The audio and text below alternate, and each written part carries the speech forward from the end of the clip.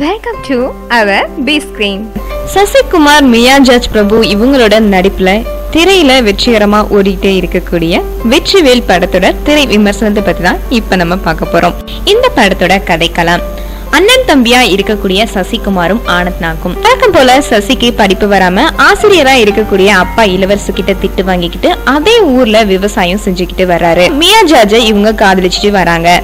இப்படி போயிட்டு இருக்கக்கூடிய இவங்களோட வாழ்க்கையில இவரோட தம்பியான ஆனந்த் பக்கத்து ஊரு பெண்ணான வருஷாவை காதலிக்கிறாங்க. வர்ஷா அந்த ஊர் தலைவரான பிரபுவோட மக. இருந்தாலும் தம்பி விரும்பிட்டானே அப்படிங்கிற காரணத்துக்காண்டி வர்ஷாவை தன்னோட நண்பர்கள் உதவியோட சேர்ந்து கடத்துறதுக்காண்டி திட்டமிடுறாங்க. இப்படி கடத்த போற சமயத்துல ஆள் மாத்தி நிக்கிலாவை கடத்துறாங்க.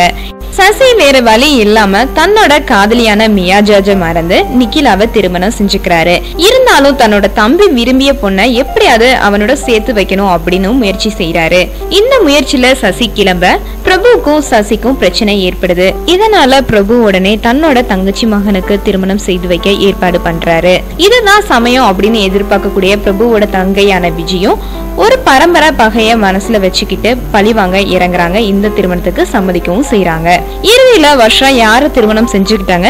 சசி தன்னோட தம்பியோட விருப்பத்தை நிறைவேற்றினாரா அப்படிங்கறதா வெற்றிவேல் படத்தோட மீதி கதை. மொத்தத்துல குடும்பங்களோட சேர்ந்து போய் பார்க்கக்கூடிய ஒரு திரைப்படம் தான் வெற்றிவேல். இந்த படத்தை நீங்க எல்லாரும் தேட்டர்ல போய் பார்த்து என்ஜாய் பண்ணுங்க. இது மாதிரி மேலும் சுவையான தமிழ் சினிமா செய்திகளை நீங்க எப்போதுமே தெரிஞ்சுக்கலாம். சப்ஸ்கிரைப் பட்டனை அழுத்துவதன் மூலம்.